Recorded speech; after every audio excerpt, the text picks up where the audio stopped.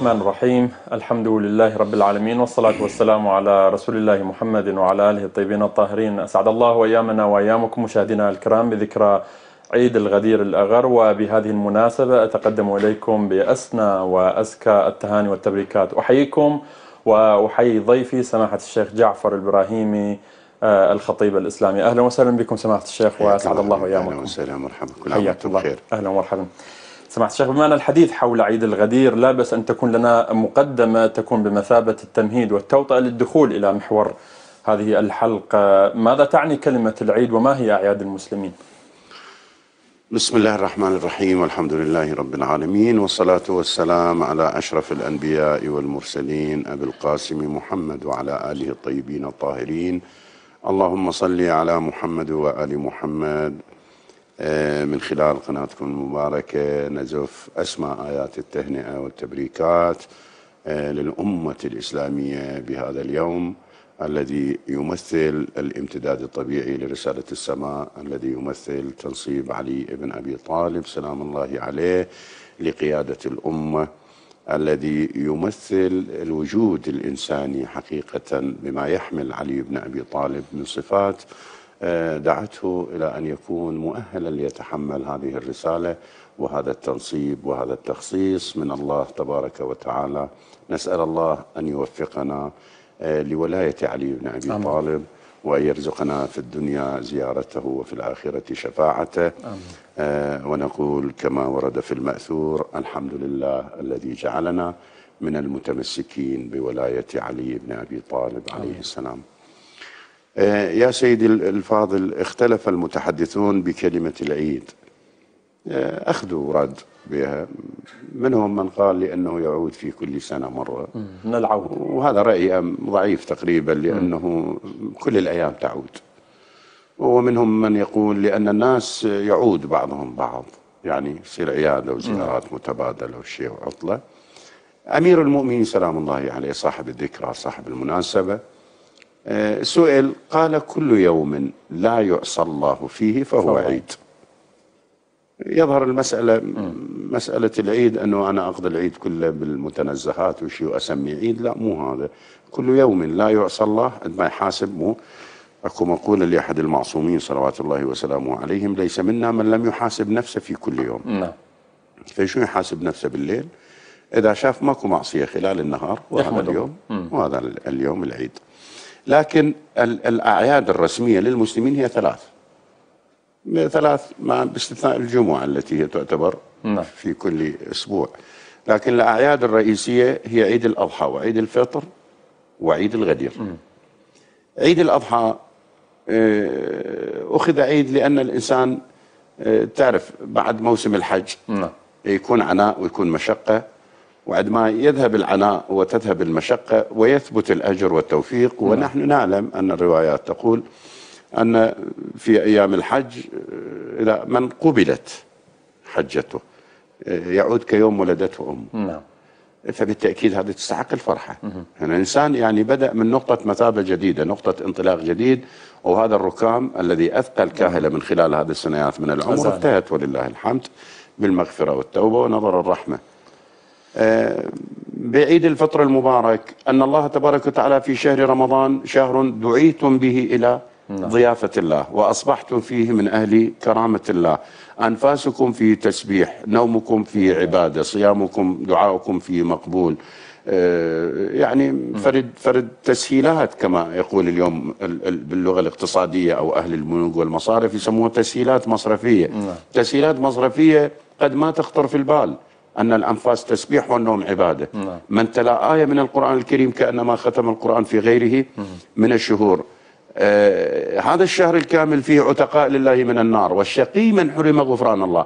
يعني يستحيل من أن هناك يعني الكلمة قريبة من المعنى. نعم. أن يستحيل أن يكون هناك إنسان من يحرم المغفرة والتوبة في شهر رمضان المبارك. إذا عند مغادرة الشهر الكريم يستحق الإنسان أن يخرج. نعم. وهو في غاية من الفرحة لأنه حصل على فرد كرامات. حصل على على كرامات من الله تبارك وتعالى. العيد المناسبة الثالثة اللي هي عيد الغدير ومع الأسف ما جاي يحصل على اهتمام أو يأخذ ال- المدى الذي يستحق في نفوس الأمة. هو عيد الغدير. عيد الغدير هو يوم ال- الذي نصب فيه علي بن أبي طالب صلوات الله وسلامه عليه إماما للأمة. وخلفا لرسول الله صلى الله عليه وآله وسلم وأمام جمع من الناس. هذا العيد يفترض أن يتخذ عيد واعتقد يكفينا أن نرجع إلى تاريخ مثلا لتقريب المعنى إلى ذهن السامع لنأخذ مثلا أيام النصرانية. نعم. ال- الحواريين طلبوا من عيسى ابن مريم أن تنزل عليهم مائدة من السماء. عيسى ابن مريم قال اتقوا الله. يعني كأنما المسألة لا تطلبون الإعجاز. خلوا المعجزة هي شلون القرآن الكريم يقول قل إني على بينة من ربي وكذبتم به ما عندي ما تستعجلون به إن الحكم إلا لله. فهم هم طرحوا فرد وجهة نظر مقبولة. يظهر القرآن الكريم أقرها يعني. فلذلك نقول عنها مقبولة. قالوا نريد أن نأكل منها. نعم. وتطمئن قلوبنا. ونعلم أن قد صدقتنا ونكون عليها من الشاهدين. نزلت المائدة يا سيدي. بعد ما طرحوا هذا الأطروحة يظهر الله تبارك وتعالى أوحى لعيسى قال له اطلب مني يعني الطلب مشروع. فلما طلب عيسى اللهم ربنا أنزل علينا مائدة نعم. من السماء تكون لنا عيدا لأولنا وآخرنا وآية منك. تكون لنا عيدا. عيدا. هي شنو اللي نزل؟ نزلت مائدة من الطعام.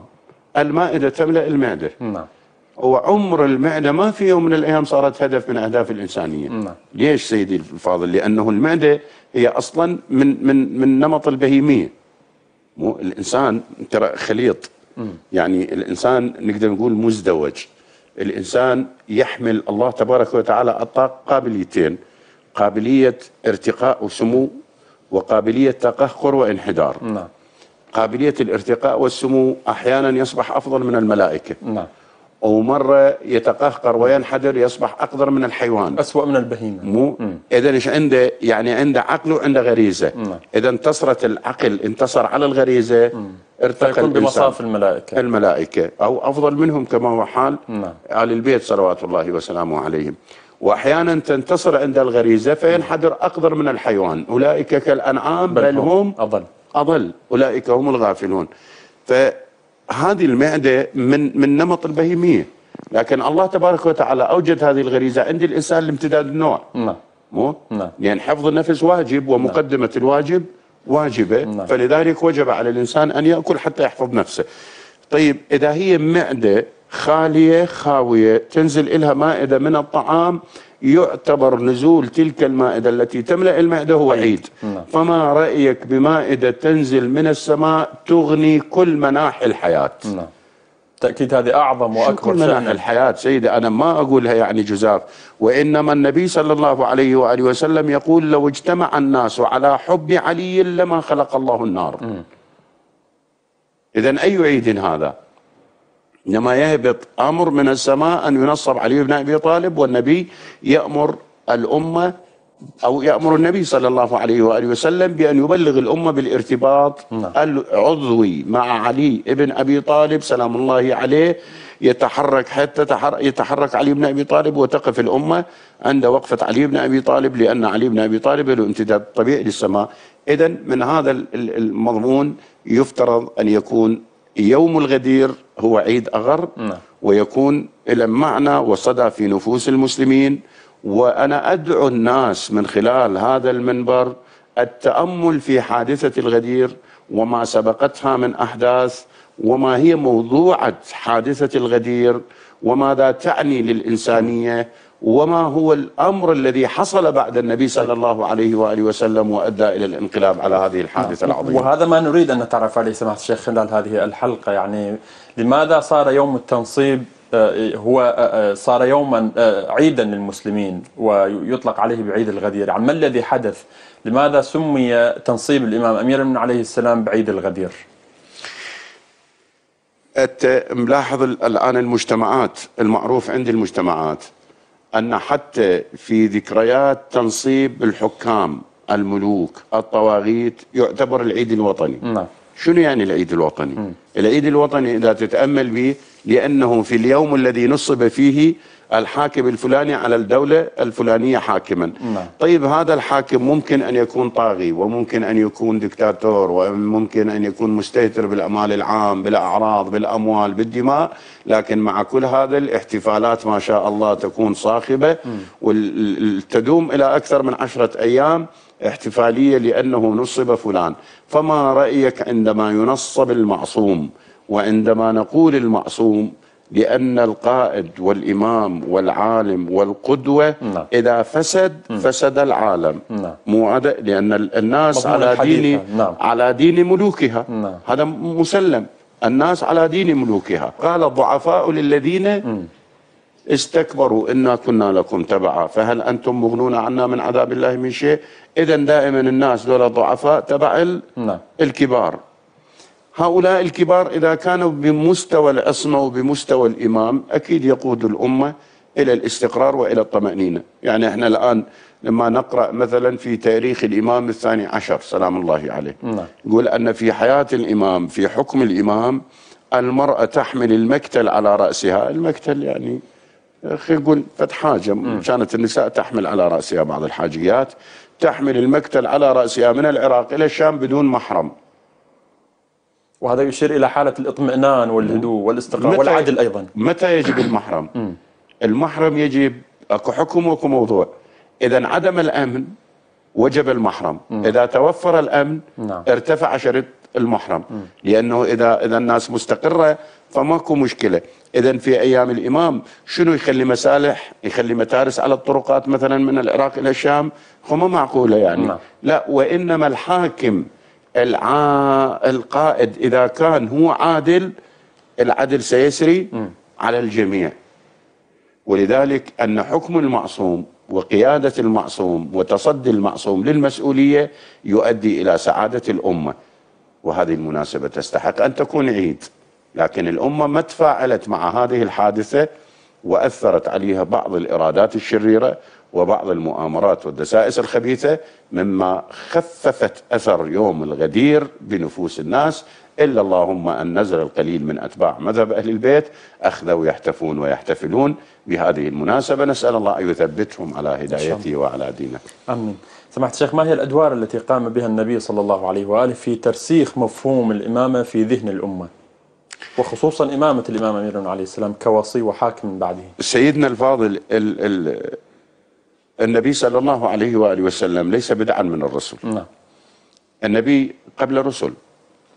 والله تبارك وتعالى نحن نؤمن بجميع الرسل لأن المنبع كلهم واحد. من الفيض الإلهي. إحنا نقرأ الآن في تاريخ الأنبياء.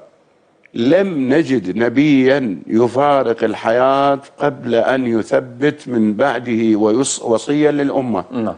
ليش؟ لأن مسألة تنصيب القائد ضروري جدا. اكو فد كلمة ما تحضرني هسه لأحد القادة الهنود على ما أتذكر أو شيء. يقول يموت الجندي والوسام على صدر قائده. ليش يموت الجندي والوسام على صدر قائده؟ اللي صنع الانتصار مو بالضرورة أن يكون هو هذا الجندي اللي يحمل السلاح. نعم. الذي صنع الانتصار هو هذا القائد الذي وضع خطة عسكرية ووضع استراتيجية للتحرك العسكري المضبوط اللي حقق من خلاله هذا الانتصار. وإلا كثير من فوات البنادق ترمي ليل نهار وبالتالي ما حققت شيء. إذا أمة بلا قائد مهما تكون قدراتها الآن أنت تشوف الأمة الإسلامية الأمة العربية أمة العرب. إذا تأخذها من جانب اقتصادي عندها ثروات ال- الهائلة. نعم. مو؟ احتياط العالم كله وين؟ نعم. عند العرب. احتياط النفطي وهو اليوم هو الدولار يعني البترول هو اللي اللي محرك الحياة بال. طيب إذا البترول بالوطن العربي الكثافة السكانية اخو هواية ما شاء الله. نعم. العلاقات الاقتصادية العلاقات التجارية العلاقات الاجتماعية جذور بالتاريخ يعني أمة تمتلك كل مقومات الحياة. لكن تفتقر المن إلى القائد. تفتقر إلى القائد.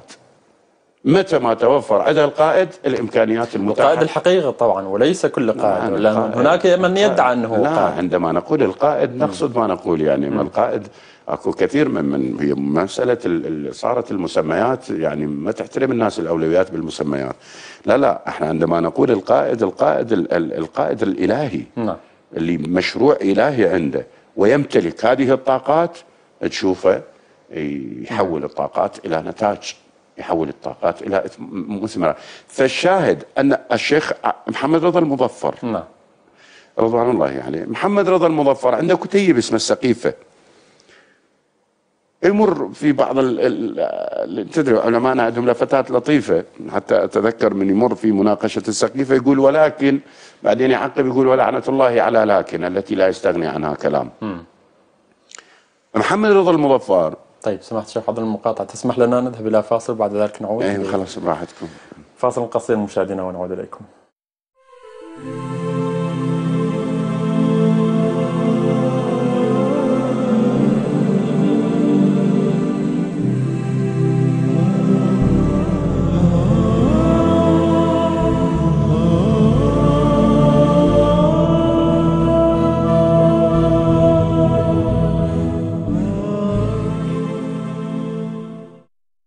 تحية طيبة وأهلا بكم من جديد مشاهدينا الكرام. لازلنا وياكم وهذه الحلقة الخاصة بذكرى عيد الغدير الأغر وضيفي سماحة الشيخ جعفر الإبراهيمي الخطيب الإسلامي. أهلا وسهلا بكم مرة أخرى سماحة الشيخ. حياك الله حبيبي قبل. الفاصل كنتم ذكرتم موضوع عن الشيخ المظفر بخصوص كتابه السقيفة آه، الشيخ المظفر كان ما يريد أن يقول أني عندما أدقق في التعاليم الإسلامية نعم. التي رسمها النبي صلى الله عليه وآله وسلم أرى الإسلام تدخل في أدق التفاصيل للإنسان. بس كثير من ال- ال- النظم الوضعية آه، ترسم الخطوط العامة. نعم. ولا تتدخل بالجزئيات بالتفاصيل. والتفاصيل. يعني ما عندنا اليوم نظام وضعي مهما كان متحضر مهما كان متطور نعم. استطاع أن يضع ضوابط على الزوج داخل غرفة نومه.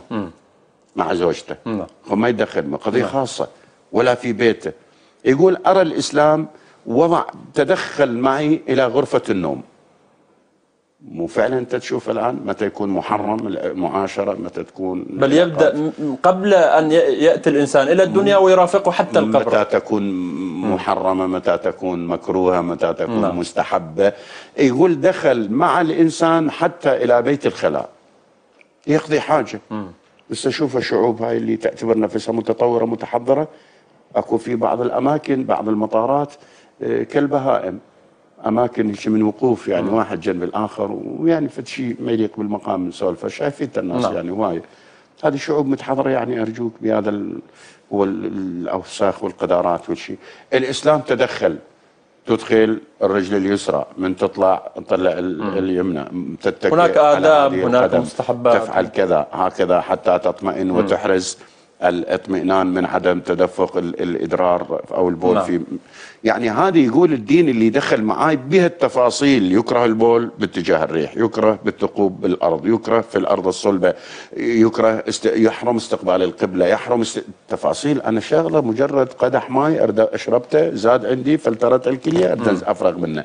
الدين يتدخل به يرسم لي متى وكيف وين مو مو صحيح؟ نعم. فيقول ما ممكن الدين اللي يدخل بهذه التفاصيل يترك أهم صفحة من صفحات الأمة فارغة. وهي صفحة القيادة. استنتاج عقلي.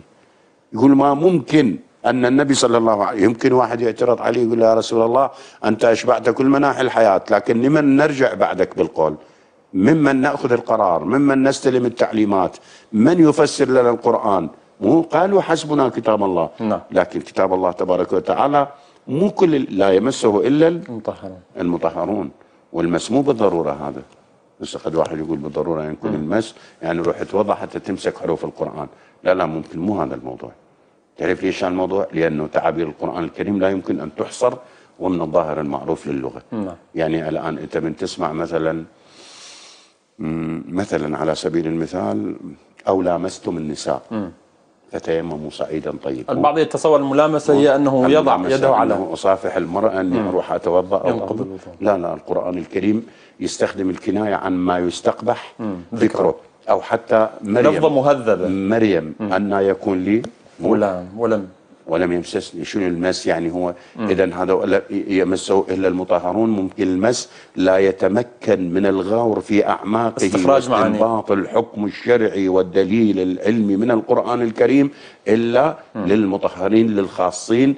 للخواص الذين هم محمد حتى بعض المفس... وآل نعم. محمد. بعض المفسرين يقول وأنزلنا إليك الذكر لتبين للناس. آه. يعني الع- القرآن جاء بالعموميات بالكليات لكن الذي يتكفل بتو... آه، ولا تعجل بتبيين ولا تعجل. نعم.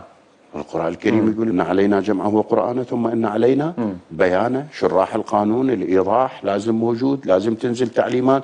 هو هذا ما اتهمنا به من تزوير القرآن. أو تحريف القرآن أو أن لنا قرآن خاص غير قرآن المسلمين معاذ الله ما عندنا لكن كل ما في الأمر أن هناك شروحات للقرآن الكريم نعم. أملاها النبي صلى الله عليه وآله وسلم وكتبها علي بن أبي طالب نعم. وفيها علم ما كان وما يكون إلى يوم القيامة ويتوارثها آل البيت كابر عن كابر فاتهمنا بأننا نقول أن مصحف فاطمة هو بدل هذا القرآن، لا هذا القرآن هو بين الدفتين هو قران المسلمين، نعم. لكن ماذا تتصور هل هو قدر يحل المشكلة؟ هسه قد يسمعنا السامع ويتهمنا بأننا نقول بأن قصور في القرآن الكريم، لا حاشا لله، لم نقل أن هناك قصور، القرآن فيه تبيان لكل شيء. ما بكل إشكال، لكن المشكلة فهمنا للقرآن الكريم ما مو قادرين أن نوصل إلى يحتاج إلى مضامين القرآن. الكريم، إذا أهل الاختصاص. ولذلك إحنا من نقول هذا القرآن الكريم ما حل مشكل. القصور بينا مو بالقرآن الكريم. نعم. وتشوف الآن القرآن مو واحد. نعم. وقالوا حسبنا كتاب الله. وخلص حسبنا كتاب الله.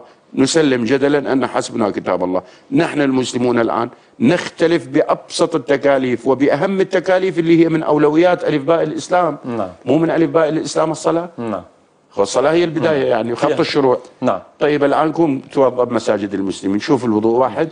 ليش؟ هو القرآن الكريم هو قال إذا قمتم إلى الصلاة اغسلوا وجوهكم وأيديكم. إلى المرافق وارجل وامسحوا برؤوسكم وأرجلكم إلى الكعبين طيب هو غسلتين مسحتين شنو هالكوارث اللي صارت واحد يسبح واحد يمسح واحد شي شي شو القضية اذا اذا ماذا تريد أن تقول سماحة الشيخ؟ أنا المشكلة أريد يعني؟ أن أقول أن النبي صلى الله عليه وآله وسلم كان مأمورا من الله تبارك وتعالى أن الأمة لا يمكن أن تنتفع من بعده بالقرآن الكريم ما لم يكن هناك إمام معصوم هو عدل القرآن والذي القادر الوحيد على استنباط الحكم الشرعي من القرآن ليحمل الأمة على الطريق الصواب. نعم. وهذا ما خلفته الأمة. فإذا عند أعود على بدء. أننا عندما نقول أن النبي ليس بدعا من الرسل عندما نقرأ تاريخ الأنبياء قد خلت من قبلكم سنن يا أخي تجارب موجودة. نعم. قد خلت من قبلكم سنن فسيروا في الأرض. شوفوا شنو اللي حصل بالأنبياء. أعطني نبيا من الأنبياء ليس له وصي. ماكو.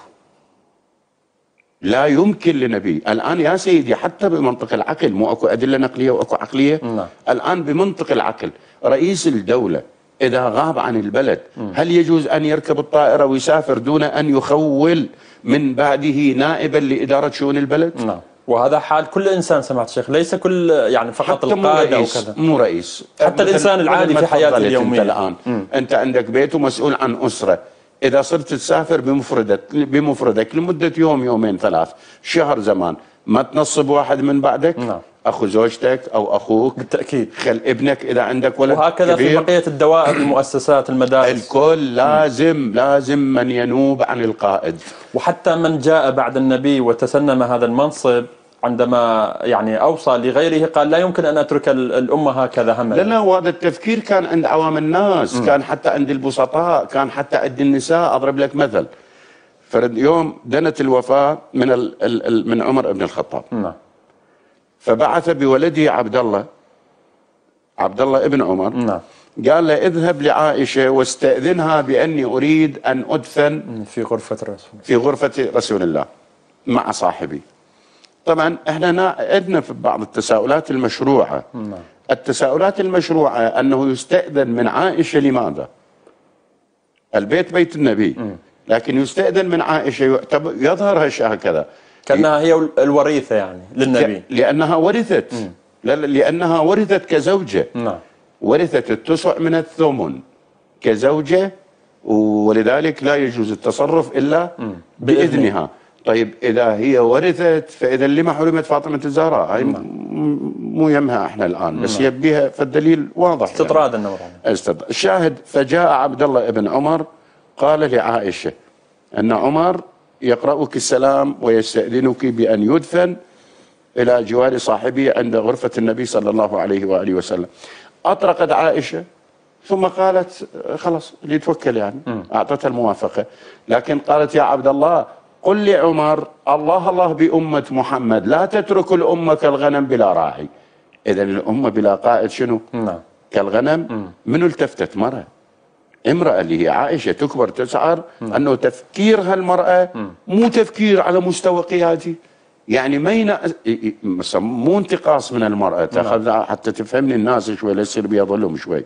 يعني أنا من أقول تفكير عائشة هل يرتقي لتفكير النبي؟ صلى الله عليه النبي وسلم. مطلع محيط يعني يعني ليش يخلون ال- بغض النظر عن تسديد السماء طبعا. اذا اذا هو النبي اولا نضج 63 سنة عمره. نعم. مثقف واعي. وعلى تماس مباشر مع الوضع والقيادة وال... جاي الآن نستغني يعني ما نذكر ال- ال- جانب المدد. الإلهي وجانب السماء وجانب الغيبي. لا اخذه كانسان نعم. واعي ابن أسرة من سادة العرب من بني هاشم ما يمليه العقل. عمره 63 عام. عائشة تفكر بالأمة أن تبقى بلا راعي والنبي يعوف الأمة على سقيفة بني ساعدة تحدد مستقبلها؟ مراهمة يعني. المهم فالأنبياء الكل الأنبياء لازم لكل نبي وصي. وصي. فالنبي صلى الله عليه وآله وسلم يعني من باب أو أنت ملاحظ أكو أنا فرد يوم سمعت أحد الأخوة كان يتحدث عن يوشع بن نون. نعم. يوشع بن نون وصي موسى. سبحان الله ليش نقول لو دخلت أمة بني إسرائيل جحر ضب لدخلتموه؟ أكو شيء حديث يعني عن النبي صلى الله عليه وآله وسلم. هذا يتحدث كان عن يوشع بن نون في أيام شهر رمضان على قبل سنيات. يعني كنت أتابع الرجل بالتلفزيون. فقال يوشع بن نون إيه، وصي موسى بن عمران وردت له الشمس. ويزعم الروافض بأن الشمس ردت لعلي بن أبي طالب ولا صحة لذلك. هي ردت ليوشع ولكنها لم ترد لعلي. يعني هذا لو تسأل الرجل سؤال. أن يوشع بن نون هو وصي موسى وعلي بن أبي طالب وصي محمد. ومحمد أفضل من موسى فمن باب أولى أن يكون أفضل. وصي محمد أفضل من وصي موسى. وإذا على نظام الأولويات ما جاز للأقل درجة جاز بالأفضل. للأفضل. اذا يمكن يعني ليش لعلي بن أبي طالب لم ترد؟ اذا المساله بيفت عملية من ال- شوية يعني. طيب في واقعة الغدير سماحة الشيخ يعني هل هو هذا ال- ال- ال- المكان الوحيد أو المورد الوحيد الذي نص عليه النبي صلى الله عليه وآله على الإمام أمير المؤمنين؟ أم كانت هناك موارد أخرى يعني لا. في, في حياة النبي؟ لا النبي صلى الله عليه وآله وسلم كان يهيئ الناس للارتباط والانقطاع لعلي بن أبي طالب سلام الله عليه قبل هذه الحادثة أما هذه الحادثة كانت ال- التنصيب صراحة بشكل رسمي يعني. وبشكل رسمي لأن النبي صلى الله عليه وآله وسلم أوشك أن يدعى فيجيب ويلتحق بالرفيق الأعلى بلور كل ما طرح من خلال حياته من أيام الدعوة السرية نعم. إلى تلك اللحظة ترجم في هذا الموقف. وإلا خلال حياته ولذلك أنت شوف ال- المشكلة أن مثلا ال- المظفر يقول أن النبي صلى الله عليه وآله وسلم كان يدعو للارتباط. يعني ما معنى الكلام؟ قد يكون مو بالنص كلام المظفر. يدعو للارتباط لعلي بن أبي طالب والانقطاع لعلي بن أبي طالب طيلة فترة رسالته. يجي واحد إحسان إلهي ظهير. إحسان إلهي ظهير يقول أن المظفر يزعم أن محمد كان يد يزعم أن عليا شريكا في نبوته. لا لا مو شيء. خليه منطق علمائي خليه يكون مو مو يعني مثل ما أن ال- الشيعة يستدبرون القبلة ويصلون لقبور أئمتهم. تسامع بهالكلام أنا قارئ يعني مو بس سامع. أن الشيعة يستدبرون القبلة ويصلون وين؟ إلى قبور وهناك محاولات كثيرة الشيخ إلى هذه ليست قبور الأولى. وليست الأخيرة. تعرف هاي من ياخذوها سيدي؟ ياخذوها من لا يجوز استدبار قبر المعصوم. يعني أنا أدري أن المعصوم أشهد أنك ترى مقامي وتسمع كلامي وقادر على رد جوابي. ثم المعصومين أغلبهم كلهم شهداء يعني ما منا أهل البيت إلا مقتول أو مسموم. أو مسموم. ولا تحسبن الذين قتلوا في سبيل الله أمواتا بل احياء. عند ربهم يرزقون كل هذه العوامل تشدني أني مو من الأدب أن أستدبر نعم. المعصوم وأصلي إذا قبر المعصوم وراي أصير يمين أو شمال وأصلي. احتراما ادبا ليس. أدبا. إيش قالوا؟ قالوا أن ال- الشيعة يستدبرون قبور. هسه قبل من كانت الناس تأكل ضب وتركب بعير ممكن أن تقنع بهذا الفكرة. لكن أنا أستغرب على العقليات اللي تردد هذا الكلام مع وجود الفضائيات التي تنقل صلاة كربلاء جماعة مباشر لكل العالم في كل ليلة. مو نعم. مو كل ليلة. صلاة كربلاء تنقل من قناة كربلاء حتى وبعض صلوات الظهر الأنوار وغيرها أيضاً. قنواتنا تنقل صلاة الفجر وصلاة المغرب مباشرة من كربلاء الحسين وعادة الضريح خلف المصلين وإمام الجماعة إذا شيخ عبد المهدي الله يحفظه أو الله يحفظ الباقين المصلي والمصلين خلف الكل. وين؟ يستدبرون قبر الحسين ويتجهون وين؟ إلى القبلة. إلى القبلة. مع هذا إلى الآن تقبل من يصر بعض. الغربان من من يصر على أن الشيعة يستدبرون القبلة ويصلون. المسألة إذا تصير بهالشكل فإحنا ليست. هي نقاش علمي أو نقاش خاضع بين علماء آه. وإنما تدخل فيها عوامل كثيرة يعني. أتمنى أن يكون النقاش علمي ولذلك أنا أهيب بالأخوة. يعني هذا نقاش علمي سمعت الشيخ؟ ببعض تتصوروا أقول ببعض الأخوة سيدنا أكو بعض الأخوة من أتباع المذهب. مثل اللي يوجهون عتب لبعض الشخصيات العلمية الرموز ليش ما يروحون مثلا ويناقشون ويقعدون على الطاولة الفلانية؟ أكو بعض طاولات وبعض فضائيات تدعو نعم. المن للمناقشة والحوار والمباهلة والما أعرف إيش. أنا أهيب بالأخوة من أتباع مذهب أهل البيت خلي يفكرون بأن الأطروحة مو أطروحة علمية. حتى نمهي بعلمائنا وننزل مستواهم لهذا. نعم. النقاش مو نقاش علمي. النقاش قطعان من الهمج تتكلم فعلى هذا الأساس نحن نترفع عن أن نهبط بالمستوى العلمي والمستوى العقائدي والمستوى التشريعي إلى هذا المستوى من الكلام طيب. لكن كل ما في الأمر أننا نرسخ عقيدتنا ونرسخها من خلال القرآن الكريم ومن خلال المتوارث من آل البيت صلوات الله وسلامه عليهم أجمعين. ولا نعتمد أي أطروحة من نسج الخيال أو من وضع العجائز وإنما أطروحتنا كلها مأخوذة من القرآن الكريم والسنة. فالنبي صلى الله عليه وآله وسلم نعم سمعت الشيخ عذرا عندنا فاصل أخير وبعد ذلك نعود للحديث. ما ضل شيء. يلا. إن شاء الله. فاصل قصير مشاهدينا ونعود إليكم.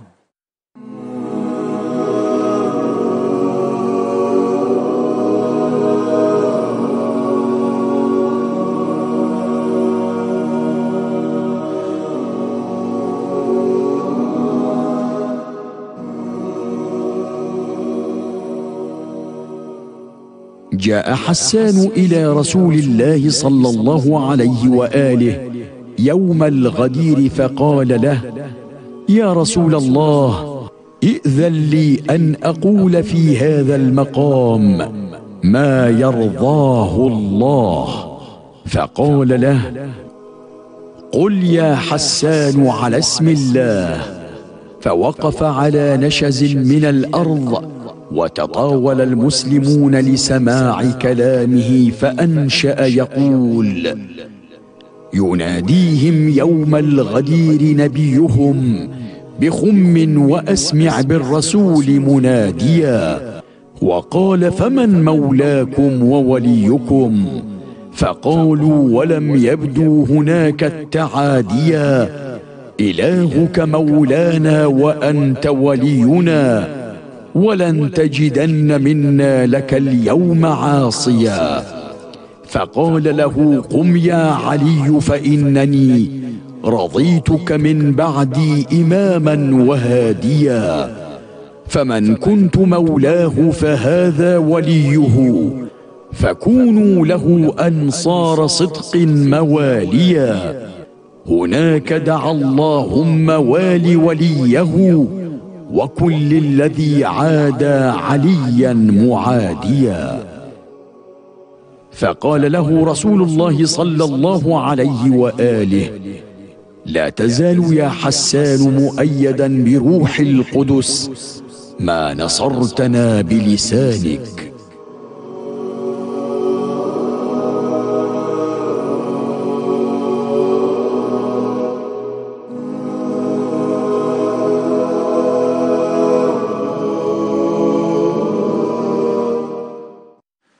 مشاهدينا الكرام واهلا بكم من جديد. سمعت الشيخ كان الحديث يعني كأن النبي صلى الله عليه من المؤكد يعني النبي أثناء سيرته كان آه، هناك محطات كثيرة من خلالها أكد على مسألة الإمامة وأن وصيه وخليفته من بعد الإمام أمير المؤمنين عليه السلام. لكن يبدو أن الذروة أو الإعلان الرسمي كان هو يوم الغدير. المعصوم آه، مسألة التهيئة ومسألة الإعداد والتأهيل مطلوب منا للأمة. نعم. لأنه حتى يجنب الأمة المفاجأة. أنت ملاحظ سيدنا مسألة الغيبة نعم. للإمام. لاحظ الغيبة؟ بدأت مع الإمام الجواد أو الهادي مع عليه الإمام السلام. الجواد الجواد بدأ يهيئ. بدأ يهيئ لل- للقنوات. سموها قنوات للارتباط. بالإمام. قنوات اتصال تواصل شلون نسميه تواصل اجتماعي؟ نعم. بعدين الإمام الهادي لا غاب. غابوا واعتمد على النواب نعم. والإمام العسكري كذا ولذلك العمري رحمة الله عليه كان نائب للإمام الهادي وكان نائب للإمام العسكري ونم هذه كلها بمسألة ترويض. محال أن النبي صلى الله عليه وآله وسلم يجمع الأمة في غدير خم ويبلغ لعلي بن أبي طالب بدون نعم. أوليات وبدون سابق إنذار. لا لا. النبي صلى الله عليه وآله من أول يوم أيام الدعوة السرية. نعم. وأنذر عشيرتك الأقربين. الأقربين. جمع قريش وطرح عليهم ال- الرسالة الجديدة والفكرة وقالهم من يؤازرني؟ من ي... ما قام له إلا علي بن أبي طالب وكان أصغرهم سنا كان صبي. نعم. مرتين ثلاث احتضنه النبي صلى الله عليه وآله قال له أنت أخي وابن عمي ووارث علمي. التفت إليهم قال فاسمعوا له واطيعوا ضحكوا قريش. قالوا يا أبا طالب أمرك بطاعة ولدك. وبدأ من هنا حتى بالمؤاخاه بين المهاجرين والأنصار. كانت هذه الإشارة. ليست عفوية يعني بين حينما آخى بينه مع وبين من يعني؟ وقال أنت ادخرتك لنفسه لنفسي. أنت مني بمنزلة هارون من موسى. من موسى إلا أنه لا نبي بعدي. بعدي. شنو بمنزلة هارون من موسى؟ بسم الله الرحمن الرحيم. رب اشرح لي صدري ويسر لي أمري. واحلل عقدة من لساني يفقه قولي. قولي واجعل لي وزيرا من أهلي. من أهلي. هارون أخي أشدد به أزري وأشركه في في أمري. إذا النبي من يطلق الكلام ما ضل صاحبكم وما. وما غوى وما ينطق عن الهوى إن هو إلا وحي يوحى. يوحى. يعني كلامه ملاحظ سماحة الشيخ أنه أطلق الكلام واستثنى هذه الشيء الوحيد النبوة. من بعدي إلا أنه لا لا نبي. بعدي. وهذا دليل على غيبية النبي صلى الله عليه وآله لأن هارون هارون مات بحياة موسى. وعلي بن أبي طالب عاش بعد النبي. عاش بعد النبي صلى الله عليه وآله ولذلك إلا أنه لا نبي بعدي يعني أنت ستعيش نعم. من بعدي أنت ما راح تموت بحياتي في حين النبي من قال هالكلمة أمام حروب وعلي بن أبي طالب هو الساعد الأفتك في تلك الحروب نعم. وممكن أن يقتل نعم. ممكن أن يصفى لكن هذا الدليل على غيبية النبي صلى الله عليه وآله وسلم يقول له إلا أنه لا نبي بعدي وأخذ يشير لأصحابه حتى في يوم من الأيام دخل علي بن أبي طالب عليه السلام على جمع من الصحابة وفيهم آه، من ضمنهم أبو بكر. فأبو بكر أحد بوجه علي وتبسم. سأله أبو بكر قال ما لي أراك تبسم؟ سأله النبي. آه، سأله لا. أبو علي بن أبي طالب قال ما لي أراك تحد النظر إلي وتبتسم. ضحكة يعني واحد يجي وواحد يضحك بوجهه شوية مو نعم. قال والله يا علي أنا سمعت رسول الله صلى الله عليه وآله وسلم يقول إذا كان يوم القيامة لا يجوز أحدكم الصراط إلا من كتب له علي بالجواز.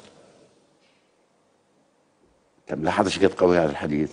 أبو بكر يقول أنا سمعت النبي يوم القيامة لا يجوز أحدكم الصراط إلا من كتب له علي بالجواز. إذا هذه الكلمات وين أطلقها النبي صلى الله عليه وآله؟ نعم. النظر إلى وجه علي عبادة. عبادة. علي أخي ابن عمي وارث علمي. آه علي بن أبي طالب بسورة براءة؟ منو نعم. بلغ براءة؟ لا يب... لا يبلغها كما نزل عليه الوحي نعم. إلا أنت أو أو أحد منك من نفسك مثل نفسك علي بن أبي طالب.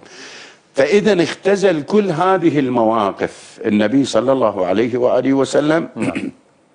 بس هو النبي هو على بينة. مو قلنا يقرأ الغيب من وراء حجوب. بالتأكيد. حتى دخل ذات يوم على فاطمة الزهراء وسأل عن علي عليه السلام فقالت إنه نائم. وذهبت لتوقظ. قال اتركيه دعيه. لرب له سهر من بعد طويل. يعني بهالمضمون. أنه ترى خليه شوي ينام هسه ارتاح لأنه راح يصير له سهر طويل من بعدي. وفعلا عاش من بعد إيش قد؟ يوشع ابن نون سبحان الله. مو قد خلت من قبلكم سنن. يوشع بن نون اللي تحدثنا عنه في نعم. قبل الفاصل بأنه ردت له الشمس. يوشع بن نون وصي موسى. وصي موسى عاش من بعد موسى 30 عام. علي بن أبي طالب إيش قد عاش؟ 30 عام. 30 سنة. نفس المقدار.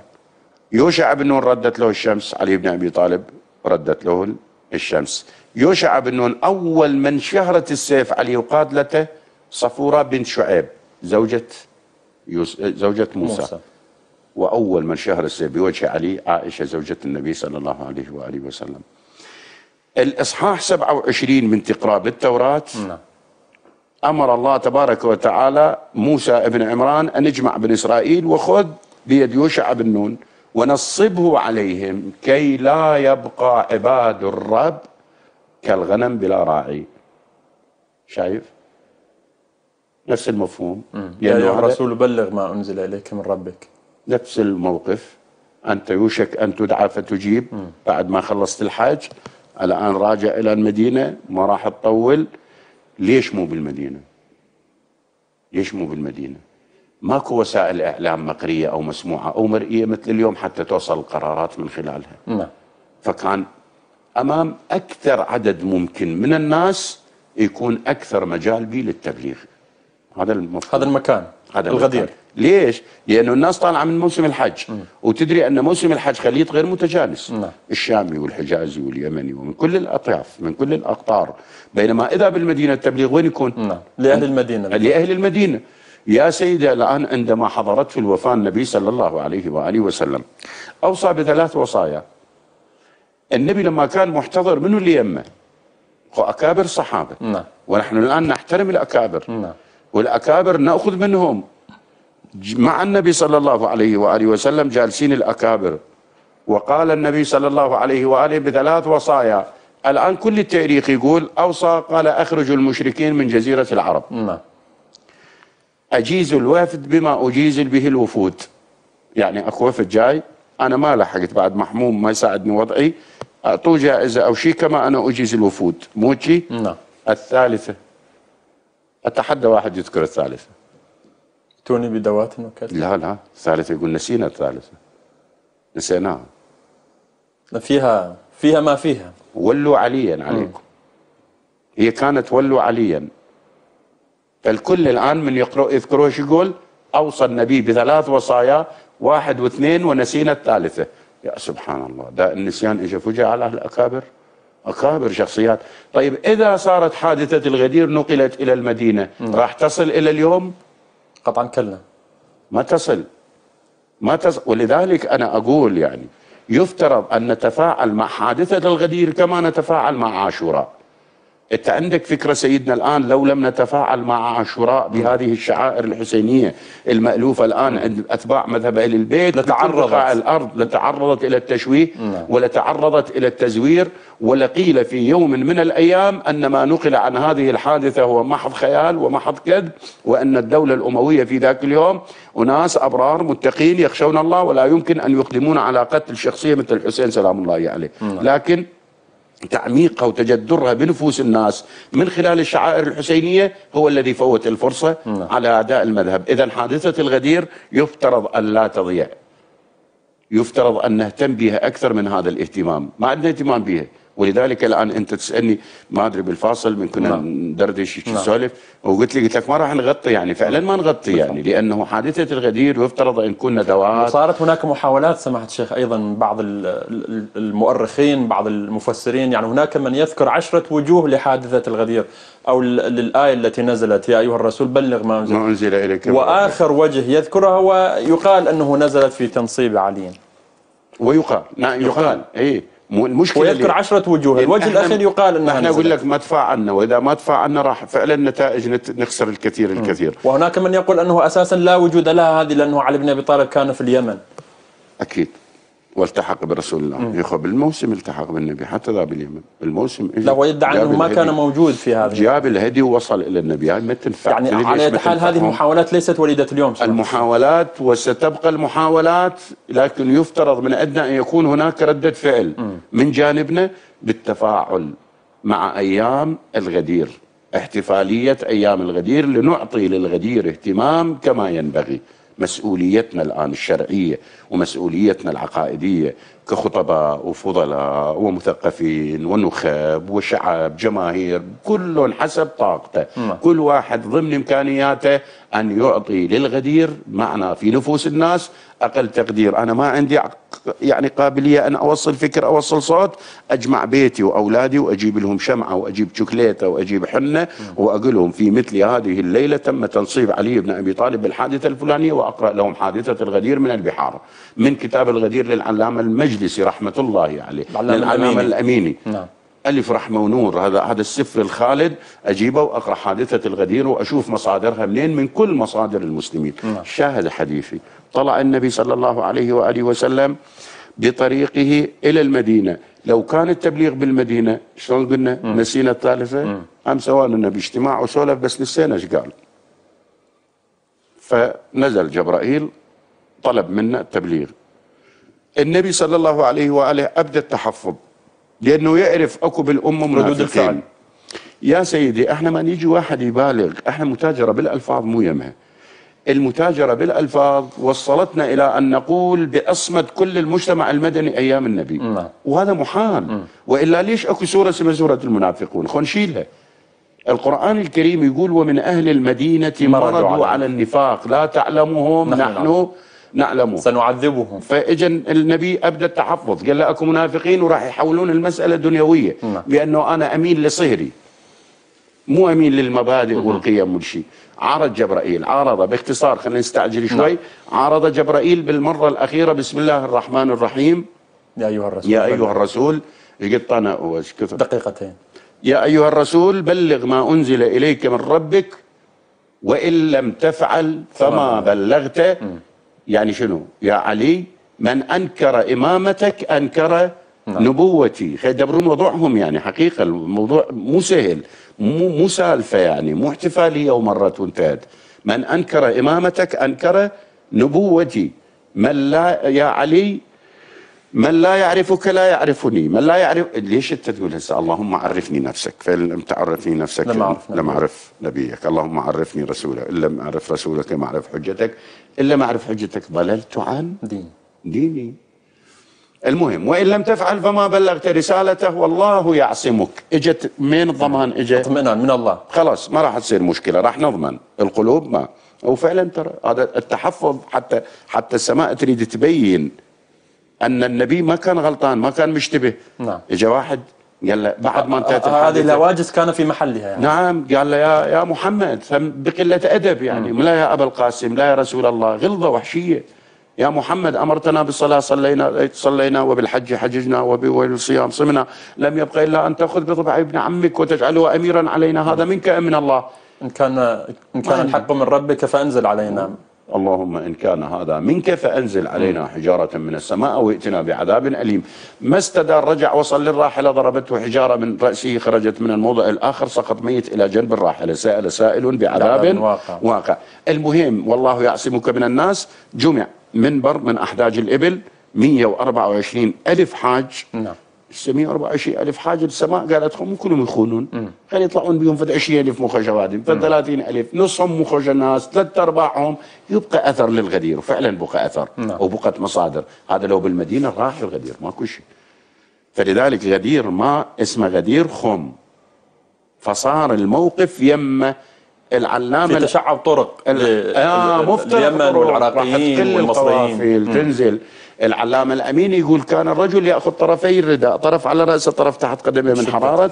ووقف النبي وخطب خطبة طويلة ثم أخذ عليا إلى جنبه وقف رفعه قال آه، من كنت مولاه فعلي مولاه. مولاه اللهم والي من والاه وعادي من عاداه وان- وانصر من نصر واخذل من خذل. من خذله وبعد ما نزل نصب له سرادق خيمة وأمر المسلمين ببيعة علي وأول من دخل عليه الشيخان بايعوه وهما يقولان بخ بخ لك أصبحت مولانا ومولى طيب. كل مؤمن ومؤمنة بعد أن تمت البيعة نزلت الآية الكريمة اليوم أكملت لكم دينكم وأتممت عليكم نعمتي ورضيت لكم. نعم. الإسلام دينا يا سيدنا مسك الختام. إذا كمل الدين وتمت النعمة بولاية علي بن أبي طالب. أحسنتم. ومن أسماء هذه الحجة أيضا حجة التمام حجة الكمال على البلاغ هال- بناء على هذه المهمه يجعلنا شكرا جزيلا لكم. سماحه الشيخ بولاية علي بن أبي شاء الله. شكرا لكم حبيبي. أخرى. شكرا لكم أيها الساده على طيب المتابعة وحسن الأصغاء ومرة أخرى نبارك لكم هذه المناسبة العظيمة ذكرى عيد الغدير الأغر. حتى نلتقيكم في لقاء آخر. السلام عليكم ورحمة الله وبركاته.